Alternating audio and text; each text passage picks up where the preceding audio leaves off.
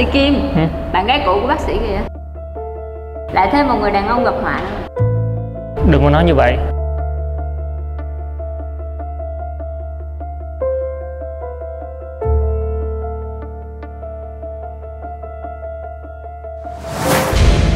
Không có việc môn thì anh không biết đi quán cáp mua cho em à?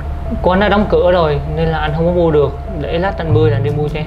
Em không có cần biết. Nếu như ngày hôm nay anh không mua được việc khoai môn cho em á mình chia tay đi. Để để anh đi mua. Dạ con nghe má.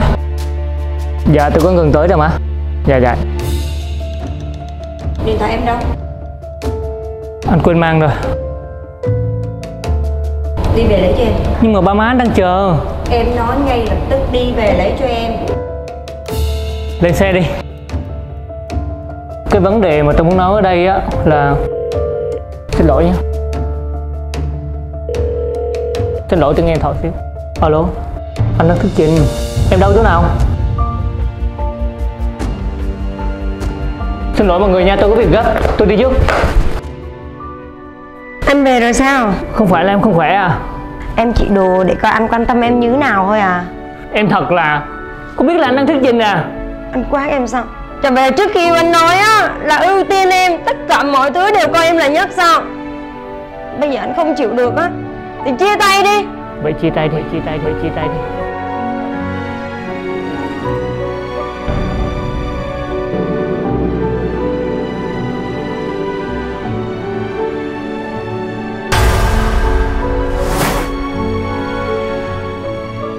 Bác sĩ Kim, anh còn lưu luyến cô ấy à? Sao có thể chứ?